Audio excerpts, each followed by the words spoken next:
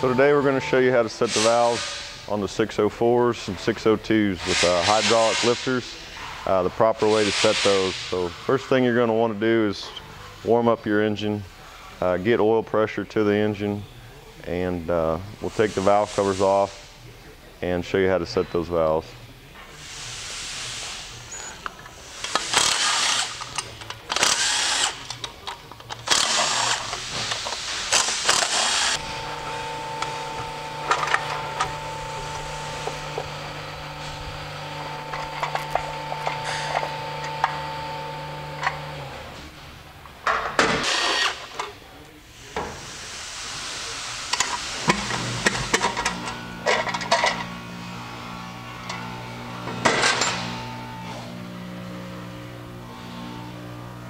So the trick to the hydraulic lifters is to find where the push rod spins at uh, once you back those off.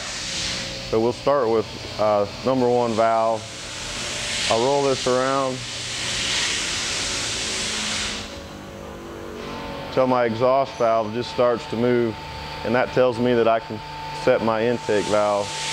So I'll grab some wrenches and uh, we'll set that one real quick.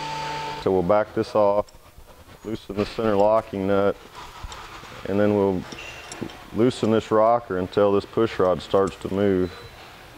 That tells us that the tension is out of it and we can set it accordingly from there to get the preload right. So letting that wrench kind of rest against that nut as it falls down, the tension's out of the push rod there so then we can lock the center nut on the inside and put about a 16th, maybe an eighth of a turn on these. You can set your street stuff tighter, like a half to a quarter turn, but for the race stuff, uh, it seems like it runs better just off of zero. So that's pulled tight, it's locked in with the set screw. We feel this push rod, it's tight, the rocker's tight here.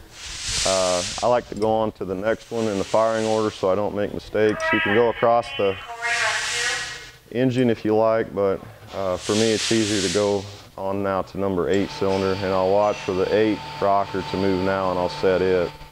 Now we're on the eight intake, loosen that center nut,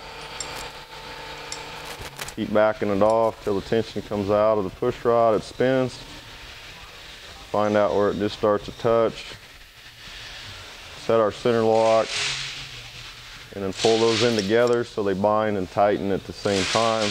That'll keep them from backing off and that thing's in service. So that one's good and tight. So now I would go on to number four. You can go on down through the firing order uh, doing those. Uh, so you're gonna set your intake valves when your exhaust just move. I'll go to the other side and I'll show you how to set the uh, exhaust valves also. So to set the exhaust valves on these, we're gonna go Number one intake's gonna go all the way down. And we're gonna go till it comes almost all the way shut, so it's pretty close.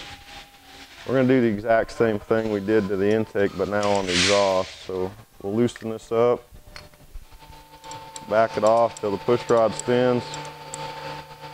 Got tension in there, the push rod floats. Can't spin it anymore with my fingers. Lock the center up pull them in together. They're good and tight, they won't back off, that'll stay put. We'll go on now to number eight. You can see the intake valve's about to come open. So with that valve open now, we'll go ahead and set that exhaust.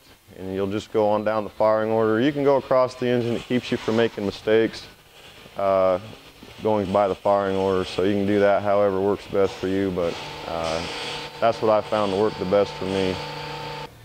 So once your valves are set, you shouldn't have to reset these valves again until you change springs. For the 602s, we recommend 10 to 12 nights. And for the 604s, we recommend 20 to 25 nights. Um, if you're running more than the 6200 on the 602s or 64 on the 604s, uh, that number may come sooner. So just keep that in mind also.